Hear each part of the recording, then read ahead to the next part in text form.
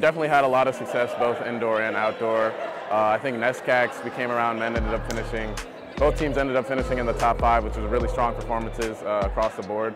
Uh, and I think like we definitely want to take that energy coming into this year, uh, move up a couple spots in both the men's and the women's side uh, in the NESCAC championship. We have really big goals as a program, which is being one of the best uh, teams in the country.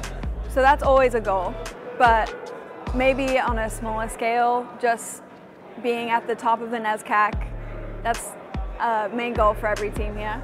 Um, and just also just being around one another, being very supportive, that's the main way that we can get to these places is just focusing on what each individual is doing while also supporting everyone else at the same time.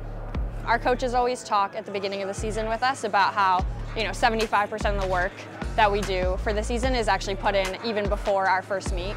Um, and so it's really about coming together at the beginning of the year, making sure that we're building that community that's um, putting us in place to really support each other and inspire each other and challenge each other to work really hard at practice, get better every single day.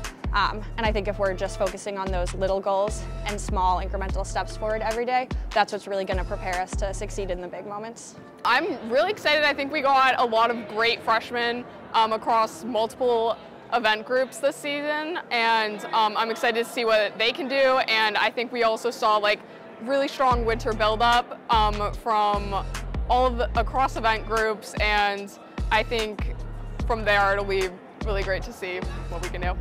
We have to really work hard, but we also have to show up for each other, and that means showing up every day at meets and at practice and cheering on, uh, cheering for each other across event groups and um, knowing how to help each other PR and achieve the best that they can.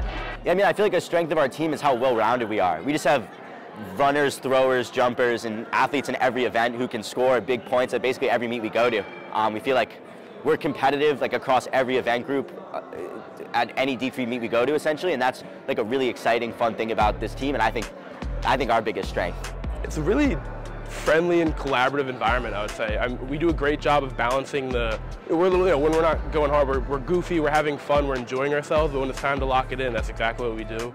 You know, we turn it on, we support each other when we're in, when we're in a race or we're in the circle or we're about to jump. We really just, we kind of tone it in and get ready to go. They got to work hard. They got to work hard to continually develop and progress as athletes. But I think that the work is more fun when you get to be surrounded by really positive, energetic, and supportive teammates who are looking to invest in your experience and share a journey and a competitive experience with you.